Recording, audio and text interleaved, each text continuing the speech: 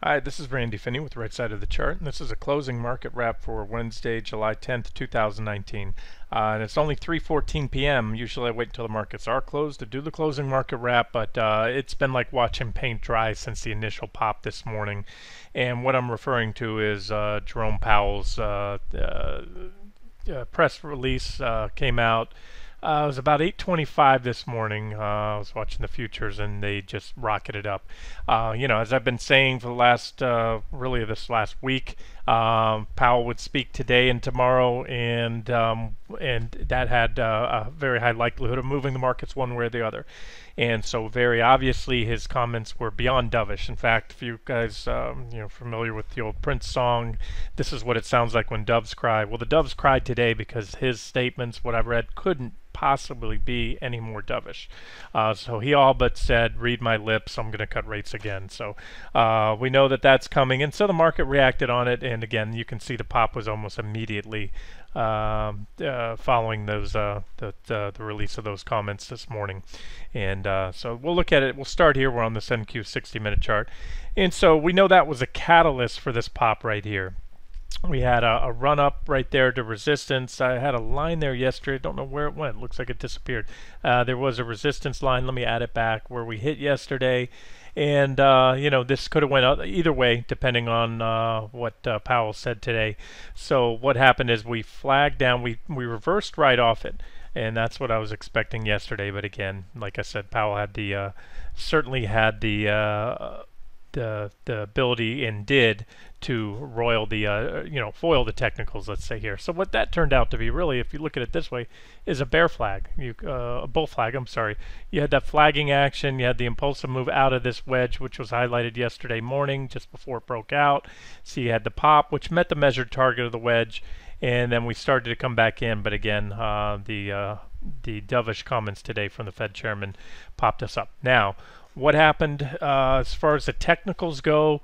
Uh, not a whole lot. Uh, similar to what I've been talking about, you know, for last few weeks now.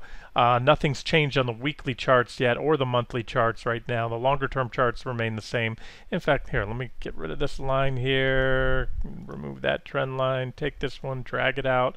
It's simply an extension of the existing divergences. So that's what we have now is uh, a marginal new high and uh, that marginal new high simply extended the divergences that were already in place there. So uh, we haven't even come in for back tests on NQ, but we are back testing on QQQ. I'm going to get to that in a second. So again, nothing much changed, and we broke out, but uh, no follow through at all. We popped to new highs on.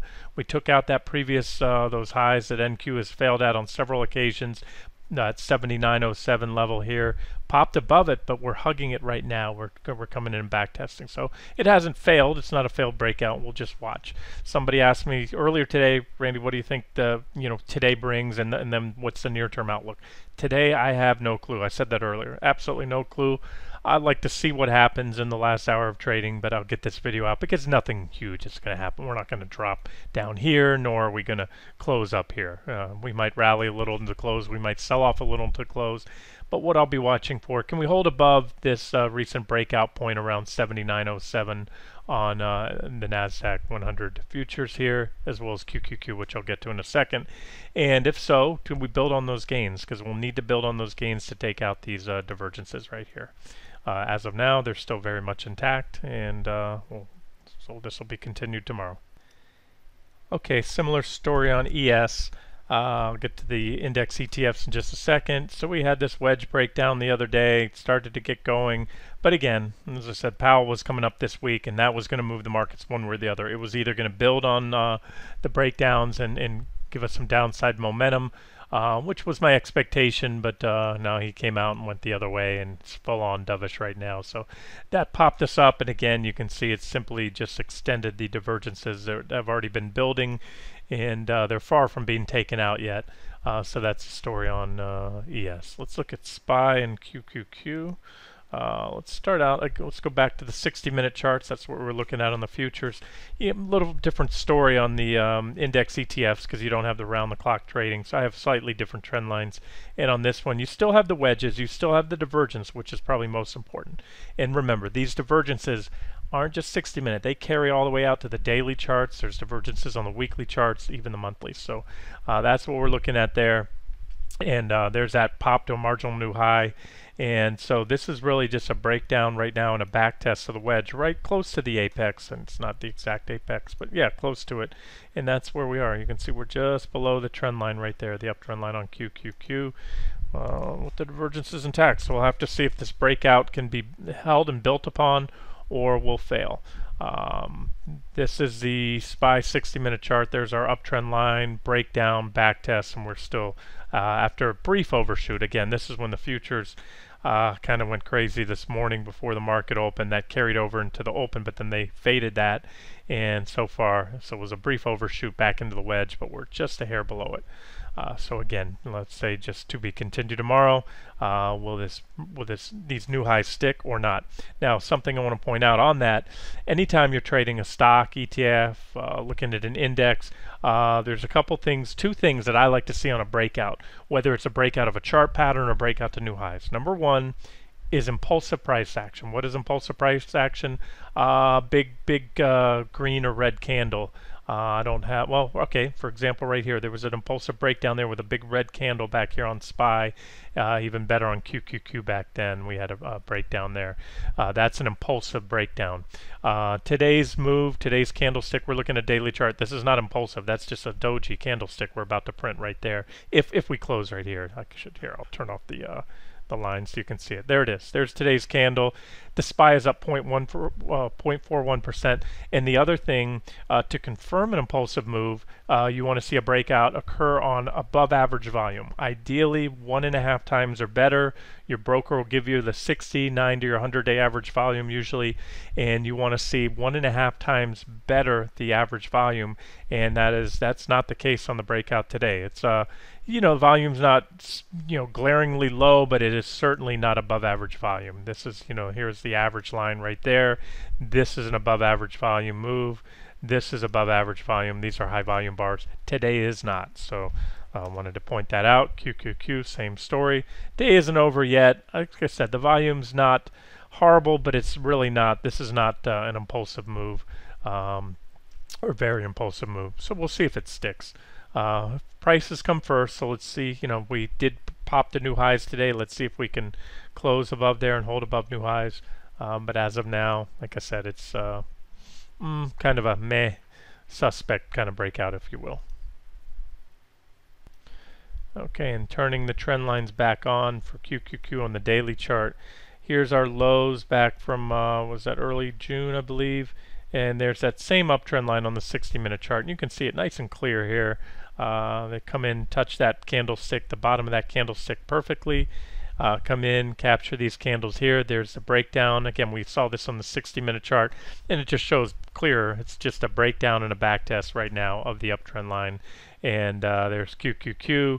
Now that we've popped to a marginal new high, it gives us that confirmed divergence. We had divergence essentially recently with the double top, and this is still, for all intents and purposes, a double top. You can be a little above, a little below those previous uh, highs, just like you were back here. That one may have been slightly above as well. We had a divergent high, double top. Actually, very similar technicals, if you will. You look at that. We, uh, you know, we had a well-defined uptrend line there. We broke down. wasn't very impulsive. Didn't go anywhere. Back tested for a little bit, and then boom, finally rolled over. So uh, that's what we have here.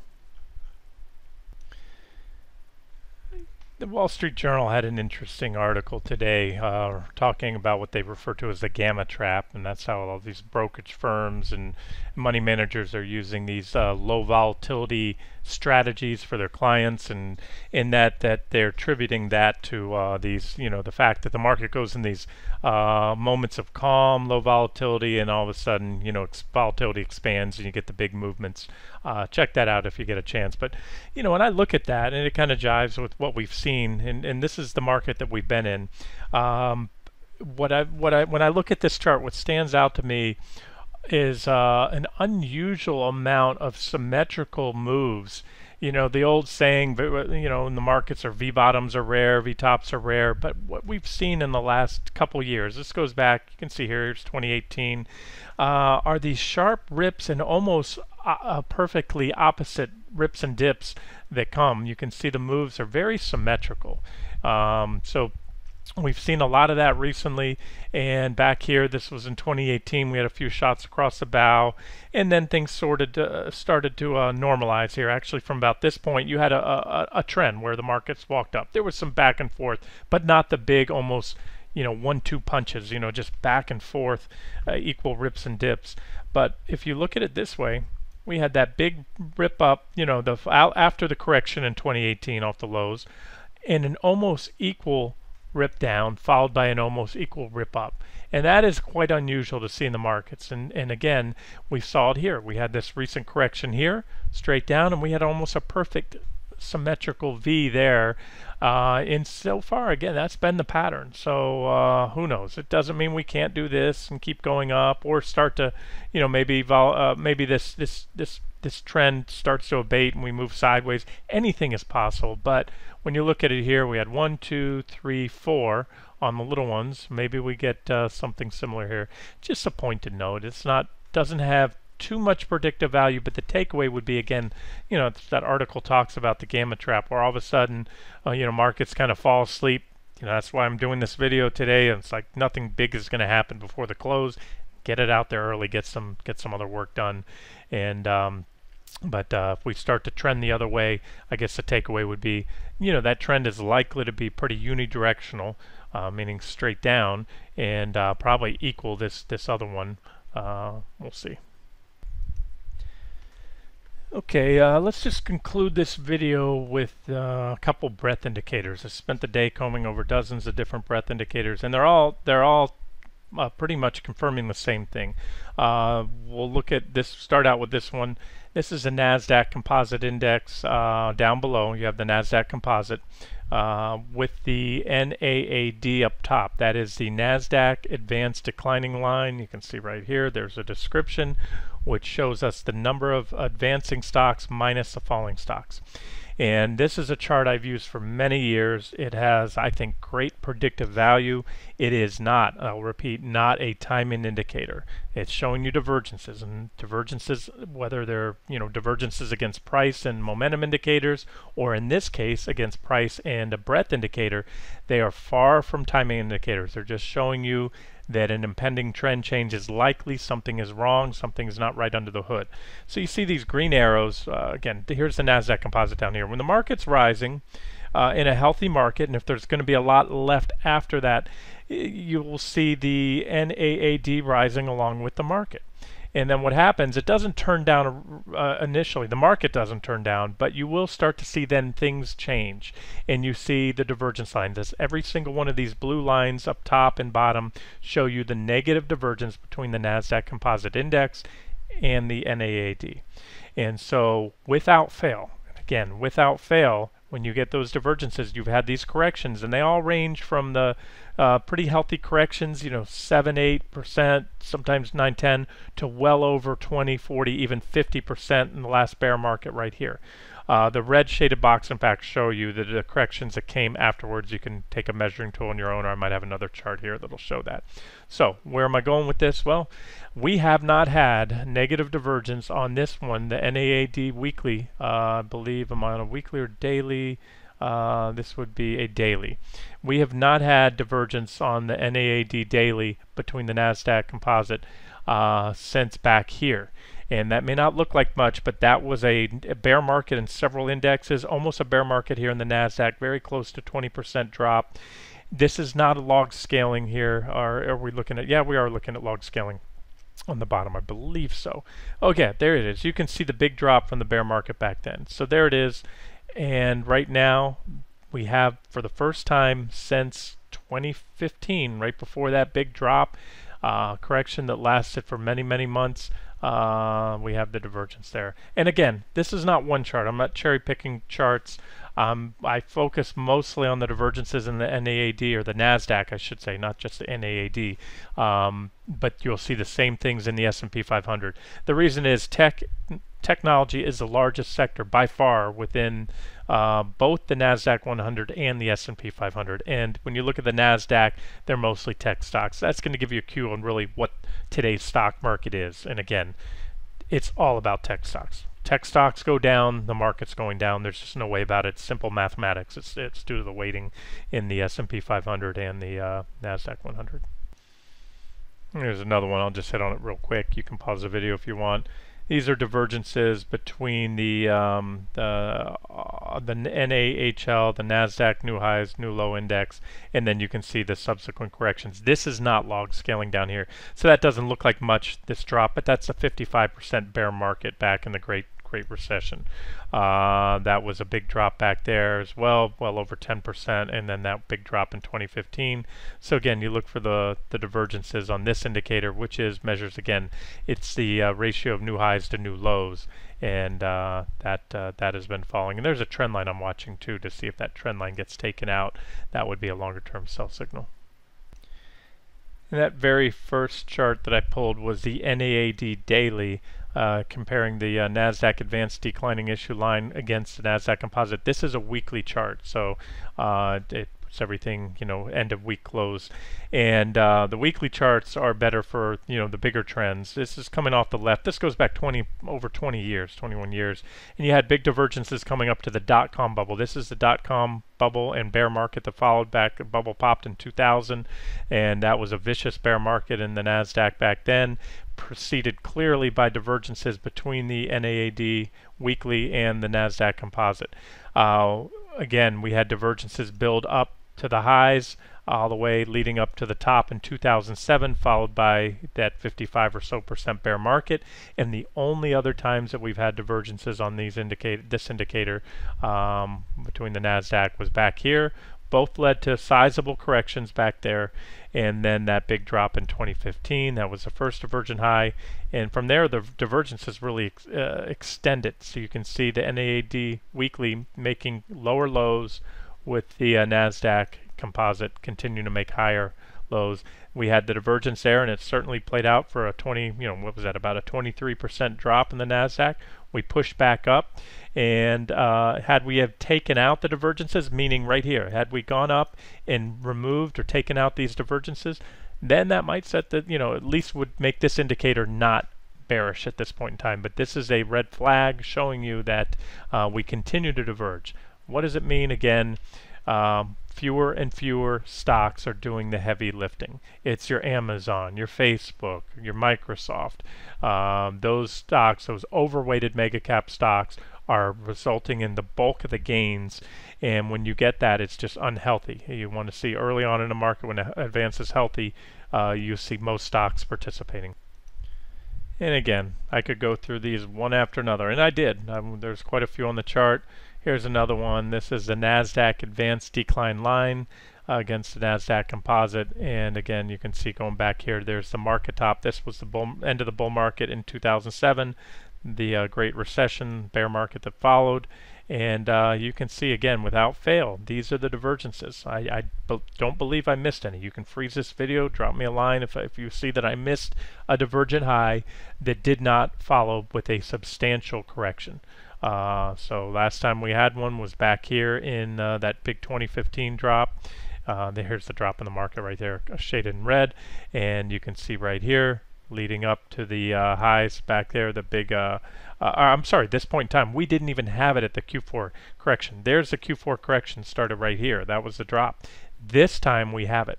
And so far we had a little drop there. That the correction we recently had, we're right back slightly above that high. Um, but this would indicate again uh, the likelihood of more downside. It's not guaranteed. You know, we had um, one here that didn't play out for a lot, but that was a very small divergent high there. This one's quite a bit larger at this point in time. Uh, not quite to the scale of this one, but again, look at all the indicators. It's not any one indicator that's going to tell you anything. You want to take them all together. And another one. Might look a little busy here, but just look at the divergence lines, the red lines up here. I'm going to circle them with this blue tool here. One, two, three, four, five, and then a little one there.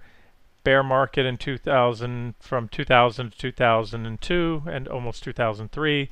Uh, the Great Recession there, and every other correction, uh, decent correction that we've had throughout this bull market, including the big Q4 drop, clearly preceded by the divergences. So we had the Q4 drop, those divergences played out, but just like the stock market, made a new high, but this breadth indicator um, has continued to diverge and warns that uh, that was just a shot across the bow and there's probably another drop coming.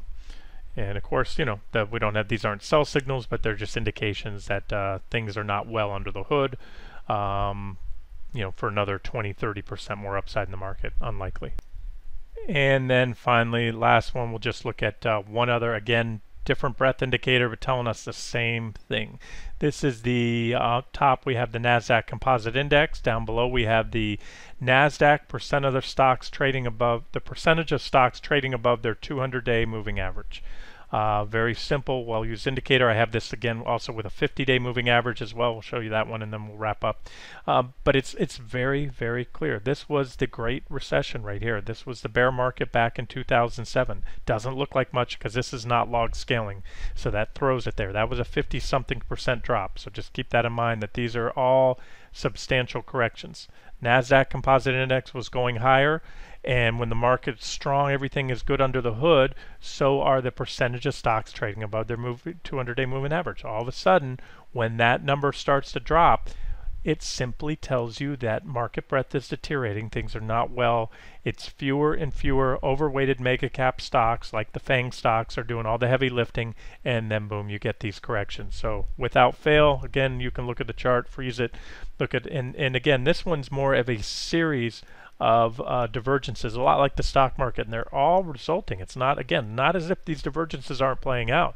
Each one's playing out for a correction, um, but the divergences continue to build, so you have to look at it this way as one much larger divergence, which really sets the stage for a larger correction, i.e. really a bear market. We already had a 20-something percent drop, so if we have anything larger than that Q4 drop, obviously it will uh, it'll flip all those long-term uh, indicators that I still have on my monthly charts and some of the weekly charts that are still bullish, still indicating a bullish primary trend, those will certainly have flipped to, to bearish if we undercut those uh, 20 uh, fourth quarter 2018 lows by by quite a bit. So that's what it looks like on the 200-day moving average. You can see really a clear deterioration. Same thing. In fact, it's an alarming rate on the 50-day. This is the same chart here. Nasdaq NDX, the Nasdaq 100 up top. I should say, in the percentage of stocks trading above their 50-day instead of their 200-day moving average. And you can see the same series of divergences. Here, let me give you the next one. That looks a little clearer uh, because I have the uh, drops measured out here in this one. So you can see every single divergence line marked and uh, I haven't updated this. This one's pretty steep. It goes from here to here. So right here, we just continue to diverge.